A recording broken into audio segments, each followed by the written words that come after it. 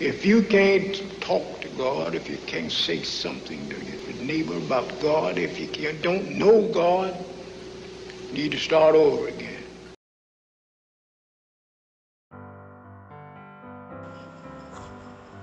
Thomas A. Dorsey, not to be confused with the big band leader Tommy Dorsey, wrote the classic gospel hymn Take My Hand in 1932.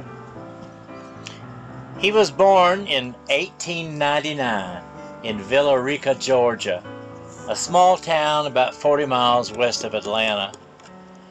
As his father was an itinerant preacher and his mother an organist, he and his seven brothers and sisters grew up in Mount Prospect Baptist Church, and they knew church music well.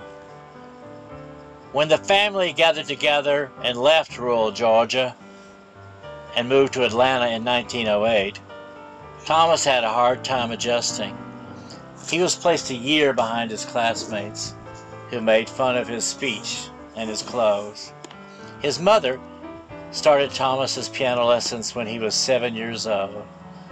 He dropped out of school when he was 12, began working at the Nickelodeon Theater, where he learned some mighty new piano licks. He also played rent parties, where tenants hired musicians to play and they would pass a hat around to raise money for the rent. These parties played a major role in the development of jazz and blues music. Dorsey states, quote, as a boy, I sold pop, ginger ale, red rock at the theater.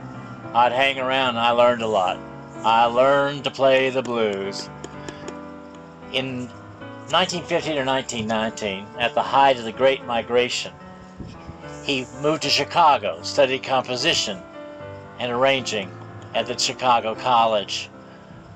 But then he began playing in nightclubs under a variety of names Georgia Tom, Texas Tommy, Barrel House Tom.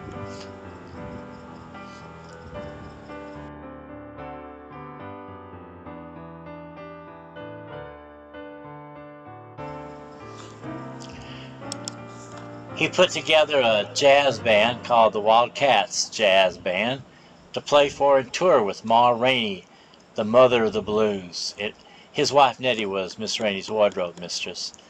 In 1928, Dorsey hit the top of the blues charts with its tight, tight like that that sold more than 7 million copies.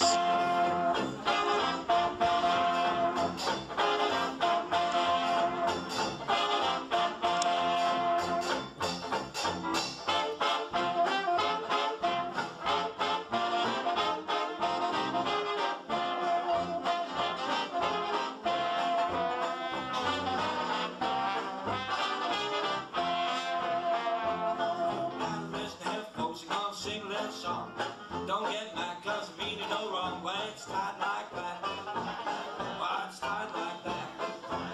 Well, don't you hear me talking to you? I mean it's tight like that. He started weaving together blues and jazz with the text of traditional spirituals. Upbeat, his music added pep, bounce, rhythm. The combination, however, was not well received. The established churches considered them sacrilegious. He persisted, calling the new sound gospel because they represented good news. On through the ages, gospel, what? What did they say it was? You mean to tell me you don't know that? Good news? On down through the ages, gospel was good news.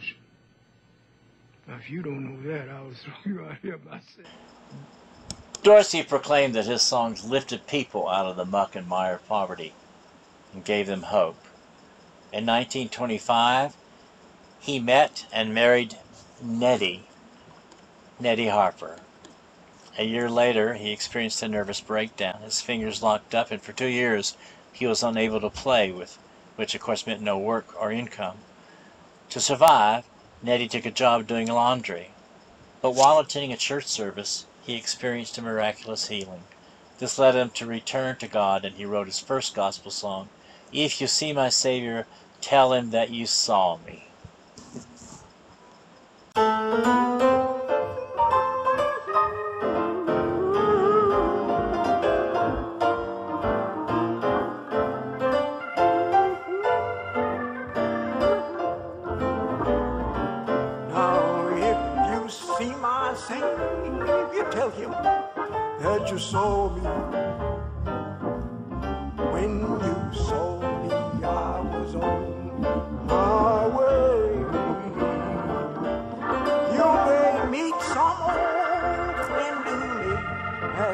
Ask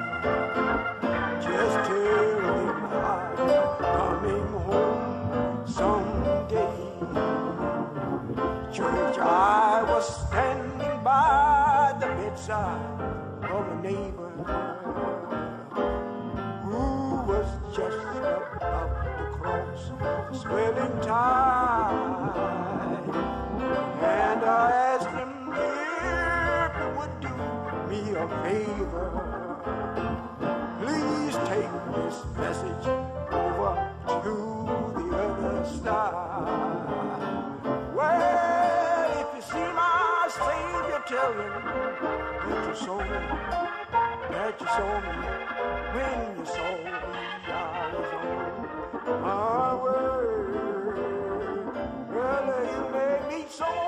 He became active in Pilgrim Baptist Church in Chicago, where he served as the church's choir director for 40 years.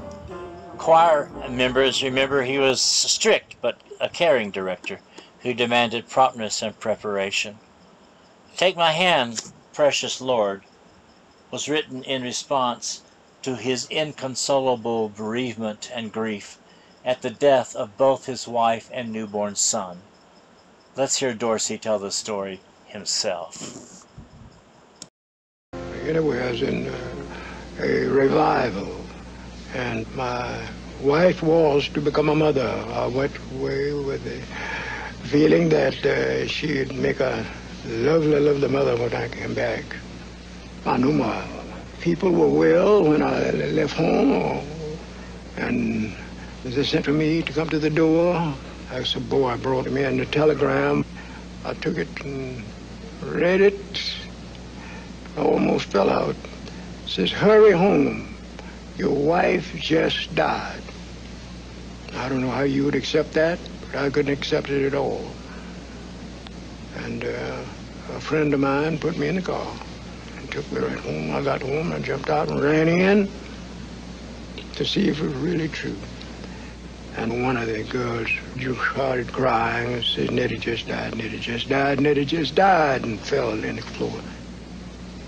The baby was left alive, but in the next two days, the baby died. Now, what should I do then and there? And then they tried to tell me things that would sooth- be soothing to me. But none of it's never been soothing to me from that day to this day. But uh, two fellows come by, I forget their names, they were friends of mine. And uh, they were telling me about it, and I says, I don't know what to do, and I don't know how to do. And uh, I just tried to make my little talk to the Lord, but it was wasting, I think. And uh, I called the Lord some one thing, and the, one of the others says, no, that's not his name. Say, precious Lord. I said, that just sounds good. And it's got several amens on precious Lord. Dorsey drew extensively from the hymn tune Maitland, which he probably learned in Sunday school as Must Jesus Bear the Cross Alone.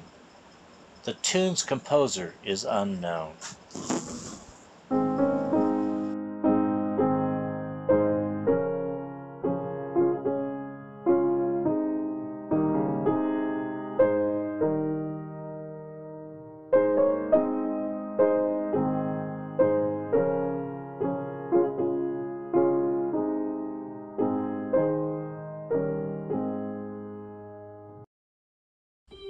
The song has been recorded by many famous singers, including Elvis, Nina Simone, Leontyne Price sang it at the state funeral of Lyndon B. Johnson.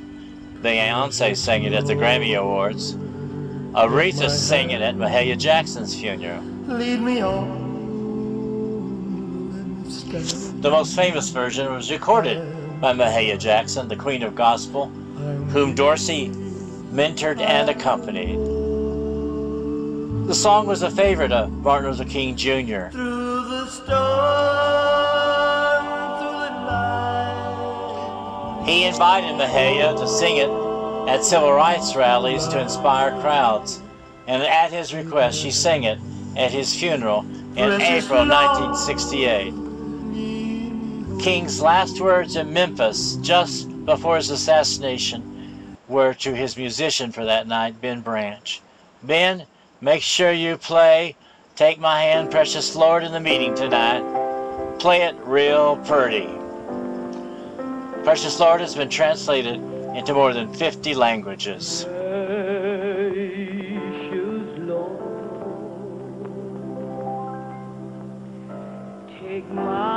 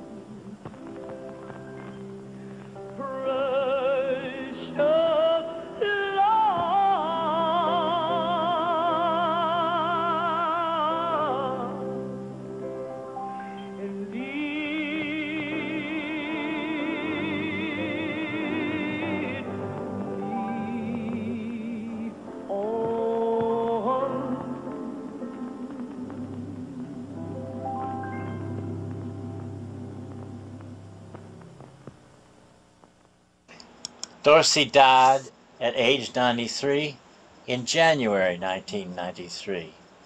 For his innovative blending of sacred and secular styles, he is remembered as the father of modern gospel music.